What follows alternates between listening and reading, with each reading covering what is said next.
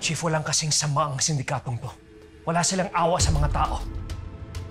Hindi muna namin sinabi sa media na buhay si Elias. May posibilidad na siya ang target ito. Para hindi siya magsalita. Pero pinagtataka ko kung bakit galit na galit tong sindikatong to sa palangga.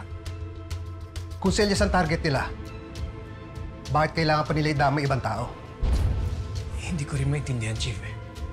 Basta ang alam ko, kailangan silang magbayad sa batas. Marami na silang nasirang buhay. Chief, yung pakiusap ko po sa inyo, pwede ba akong lumabas dito? Kailangan kong bisitahin sina Elias at Aling Alma. Kailangan na po nila ako.